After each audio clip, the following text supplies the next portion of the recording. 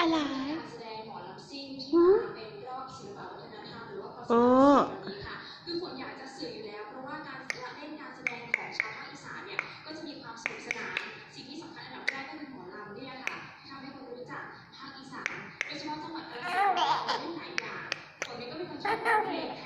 มอ ลำชอบร้องทุกแนวอยู่แล้วค่ะจำนำแล้วคุณซื่อโมแจวค่ะอืมอือืมมอะไรทำไม มันจำบ่ายอะลูกฮะเออมันฟินเนอะเนอะอู้ไก่ละไก่น่ะฮะพูดเหรอ